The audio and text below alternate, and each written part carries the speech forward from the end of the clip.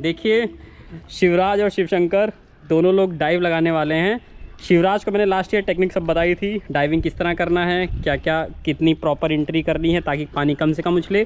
शिवशंकर को अभी नहीं बताया है, लेकिन जैसे वो रिवर में स्विमिंग कर चुका है तो उसको भी जंप करना आता है पानी में किस तरह करते हैं। तो देखते हैं दोनों में डिफरेंस क्या होता है जब वो डाइव लगाते हैं। ठीक है? दोनों रेडी हो ना? Take your mark go